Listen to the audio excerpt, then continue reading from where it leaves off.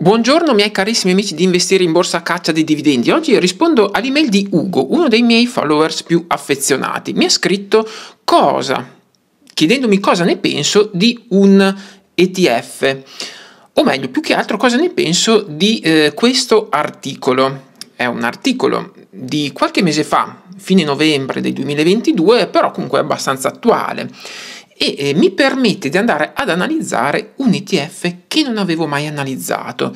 Tra l'altro ETF che esiste in due versioni ad accumulazione e a distribuzione dei proventi, quindi con i nostri amati dividendi. In questo modo ognuno può andare a seguire la strategia che preferisce, quella di una rendita periodica oppure quella dell'accumulazione per raggiungere i propri obiettivi.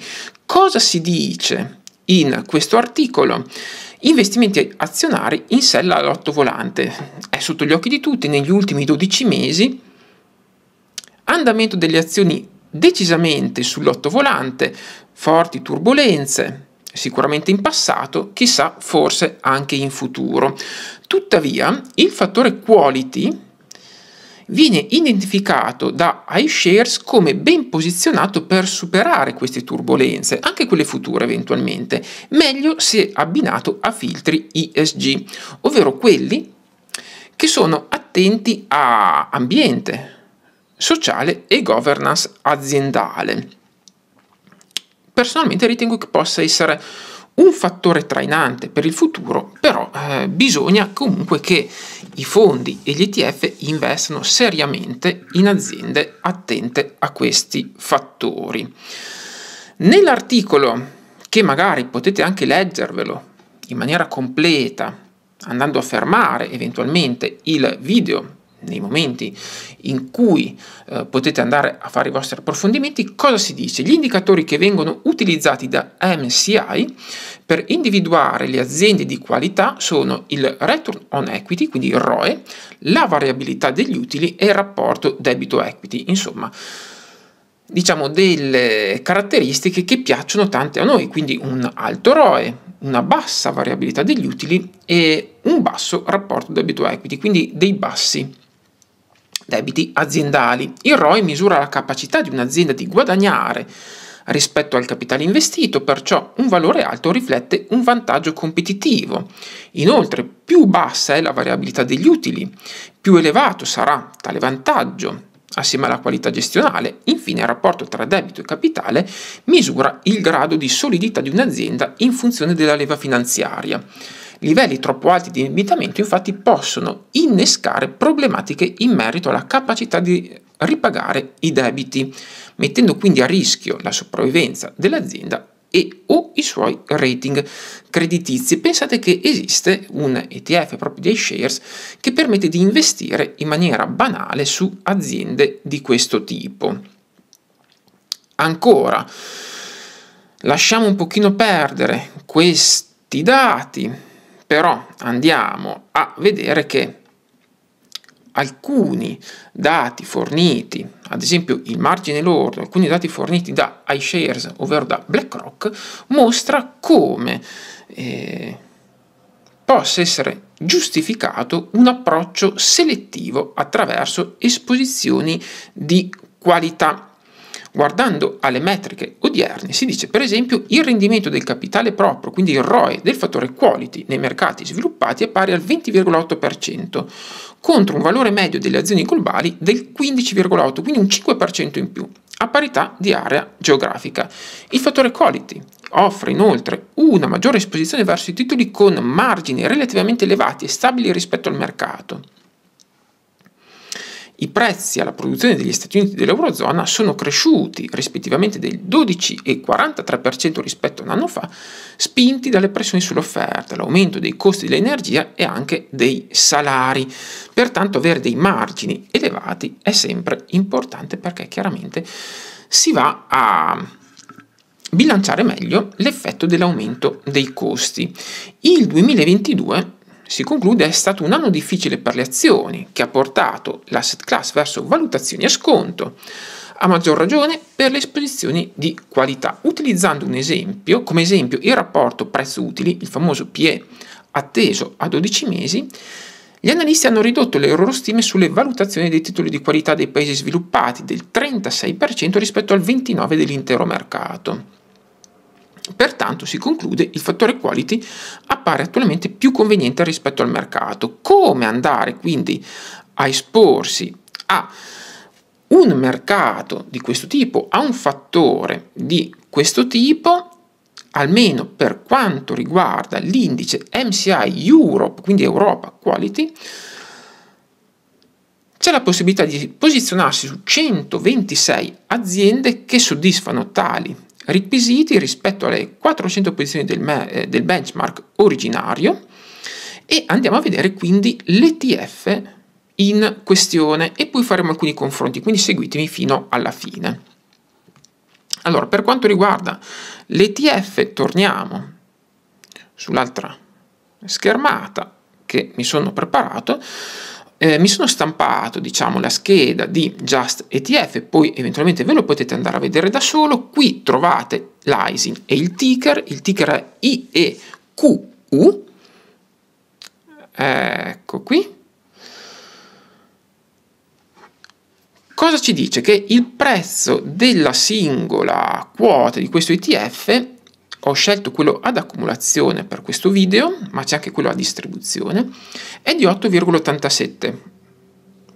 Non vuol dire niente il singolo prezzo, però per quanto mi riguarda vuol dire una bella cosa. È molto molto adatto secondo me a fare un piano d'accumulo.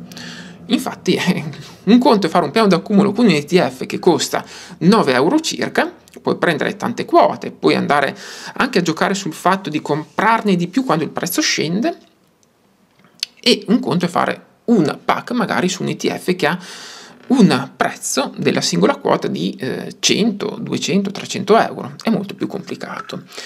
Abbiamo detto quindi com'è che investe questo ETF, qual è la sua strategia, quindi eh, elevato fattore qualitativo, l'abbiamo detto prima, eh, alta percentuale degli utili distribuiti agli azionisti, bassi livelli del debito, bassa variabilità del profitto anno dopo anno, un alto ROE. Le masse in gestione non sono tantissime, 276 milioni, non sono neanche poche, il costo è 0,25% annuo nella media diciamo, di un ETF azionario, replica fisica a campionamento ottimizzato. Ovviamente sì, sì, non c'è copertura valutaria, però essendo euro non ci dovrebbero essere grossi problemi per noi italiani.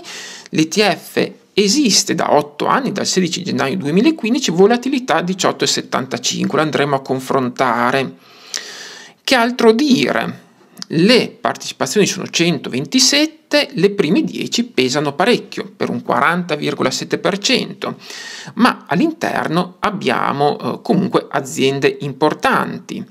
Abbiamo settore farmaceutico Novo Nordisk, Roche, poi a seguire Nestlé, che non è Nestlé, ma è Nestlé, un'altra azienda, ASML, LVMH, quindi Louis Vuitton, Nestlé adesso, Unilever, Rio Tinto, Allianz e Diageo.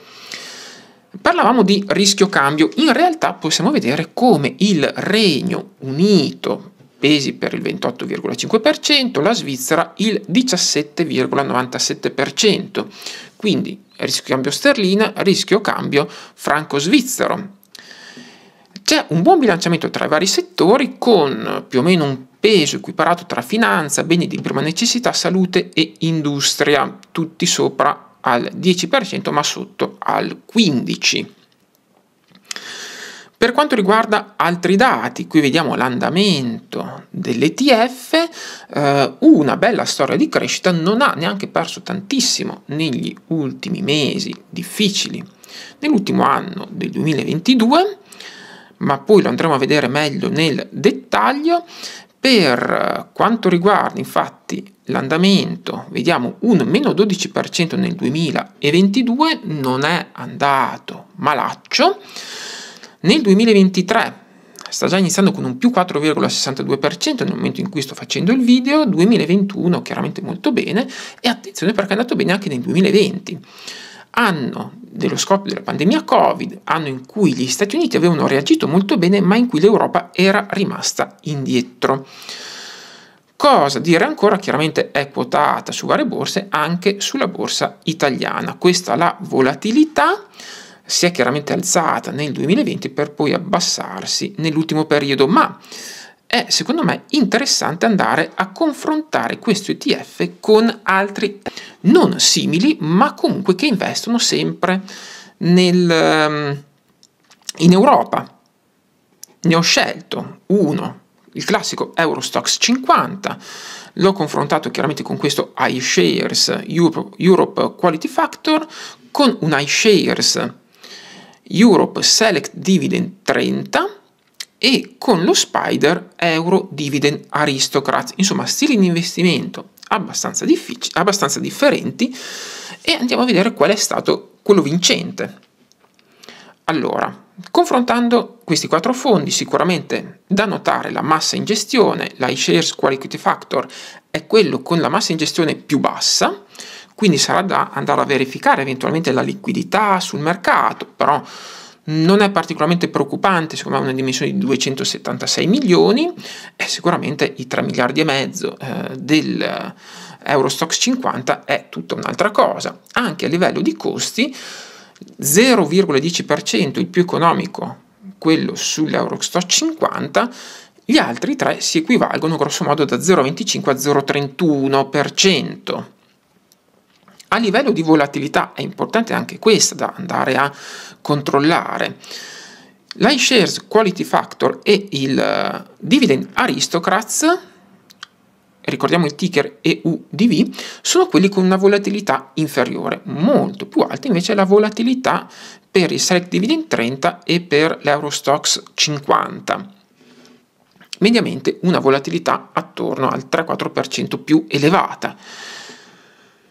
Andando a vedere l'andamento di questi quattro ETF, possiamo vedere come negli ultimi tre mesi il, il quality factor sia stato nettamente il peggiore, con un mercato in rialzo. Eh, il quality factor ha avuto una crescita del 13% circa, mentre invece gli altri tre ETF hanno avuto una crescita dal 18 al 23% circa. Il migliore è stato l'Eurostox 50. Ma voi giustamente mi direte, Lorenzo, che fai un confronto fra tre mesi, su tre mesi troppo poco, giusto.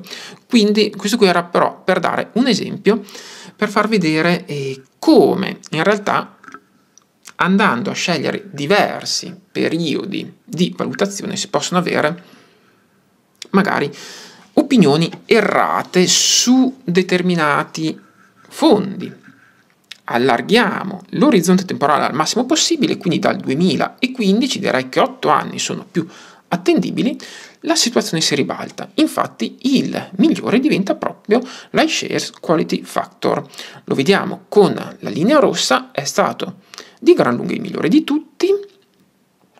Al secondo posto abbiamo l'Eurostox 50 e poi il Select Dividend e alla fine soltanto il Dividend Aristocrats. C'è da dire che il Dividend Aristocrats è stato il peggiore, ma pre-scoppio di pandemia era praticamente il migliore. Addirittura il 2019 era in testa, eh, all'inizio del 2020 se la giocava proprio con il quality factor e poi non ha beneficiato quasi per niente del rimbalzo post-Covid, anzi possiamo dire che praticamente è l'unico ancora sotto i livelli massimi raggiunti prima dello scoppio della pandemia Covid. Insomma, anche qui, l'abbiamo detto poco fa, a seconda del periodo temporale che andiamo ad analizzare, si possono ottenere risultati differenti. Insomma, spero che questo video vi sia stato utile. Ditemi se conoscevate questo ETF. Abbiamo visto come abbia avuto sicuramente una performance sorprendente negli ultimi tre anni, post crollo Covid, eh, sicuramente migliore rispetto agli altri ETF presi in esame sempre sulla Europa. Potrebbe essere eventualmente una interessante via di mezzo, un interessante compromesso tra chi cerca comunque una crescita del capitale senza rinunciare anche ai dividendi, visto che esiste anche la soluzione a distribuzione con un dividend yield di circa il 2,5%. Spero che questo video vi sia stato utile anche per capire come si analizza un ETF. Per oggi abbiamo finito. Un saluto a tutti da Lorenzo, a presto e ciao!